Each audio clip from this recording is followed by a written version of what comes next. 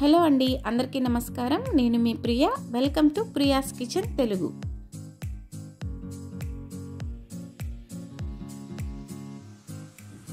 ఇవాల్టి రెసిపీ తీపి గుమ్మడికాయతో హల్వా తయారు చేసుకుందాం. చాలా బాగుంటుందండి. ముందుగా ఇక్కడ నేను ఒక చిన్న సైజ్ గుమ్మడికాయ తీసుకుని పైనున్న చెక్కంతా ఇలా పీలర్తో పీల్ చేసేసుకున్నాను. ఇందులో గింజలుంటే అవి కూడా తీసి పక్కన పెట్టేసుకున్నాను. ఇప్పుడు ఈ గుమ్మడికాయ ముక్కల్ని మనం సన్నగా తురుముకోవాలి.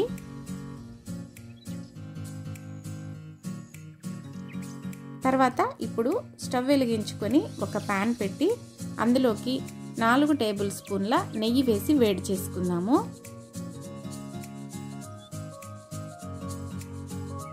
నెయ్యి వేడైన తర్వాత ముందుగా కొన్ని జీడిపప్పుల్ని మంచిగా దూరగా వేయించి పక్కన పెట్టుకుందాము. అలాగే కొన్ని కిస్మిస్లను కూడా మంచిగా వేయించి పక్కన పెట్టుకోవాలి.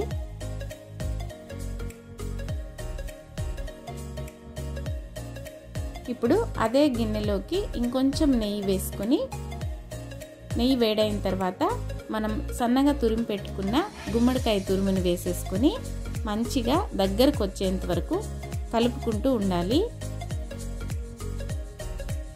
ఆ గుమ్మడికాయలో ఉండే పచ్చిదనం అంతా పోయేంత వరకు మనం ఇలా కలుపుకోవాలి.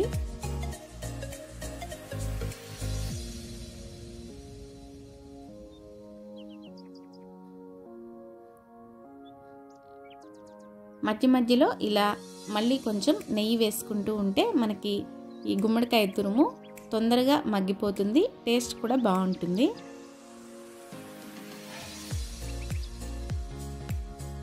ఇదిగోండి మనకి తురుము ఇలా కొంచెం దగ్గరకు వచ్చిన తర్వాత ఇందులోకి చక్కెర వేసుకుందాము. ఇక్కడ నాకు గుమ్మడికాయ తురుము రెండు కప్పులు వచ్చిందండి. నేను ఇదే కప్పుతో దాదాపుగా అరకప్పు వరకు చక్కెర వేసుకుంటున్నాను. మీరు ఎంత స్వీట్ తినగలుగుతారో దాన్ని బట్టి మీరు వేసుకోవచ్చు. ఇలా చక్కెర వేసిన తర్వాత మనం కలుపుకుంటూ ఉంటే ఆ చక్కెర అంతా కూడా దగ్గర పడి ఒక పాకంలాగా తయారవుతుంది. ఇదంతా కూడా మనము స్టవ్ని మీడియం ఫ్లేమ్లో పెట్టుకొని కలుపుకుంటూ ఉండాలి.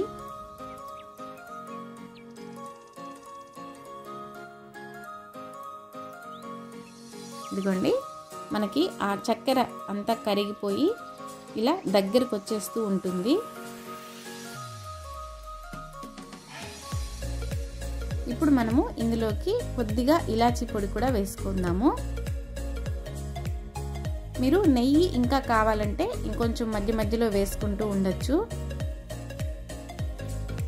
మరి నెయ్యి ఎక్కువగా వేసుకున్నా తినేటప్పుడు మనకు కొంచెం వెగటుగా ఉంటుందండి. కాబట్టి చూసి వేసుకోండి.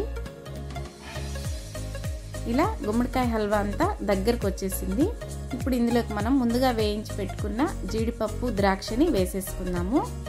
ఈ హల్వాని మనం పాలు వేసి కూడా చేసుకోవచ్చు. అదొక మెథడ్ అండి. ఇలా పాలు లేకుండా కూడా ఈ విధంగా తయారు చేసుకోవచ్చు. మన గుమ్మడికాయ హల్వా అయితే సింపుల్గా రెడీ అయిపోయిందండి. దీన్ని మనం వేడిగా ఉన్నప్పుడు తినచ్చు లేదంటే ఫ్రిడ్జ్లో పెట్టుకొని రెండు మూడు రోజుల వరకు కూడా తినచ్చు. ఈ గుమ్మడికాయ హల్వాని తప్పకుండా ఒకసారి మీరు కూడా ట్రై చేయండి.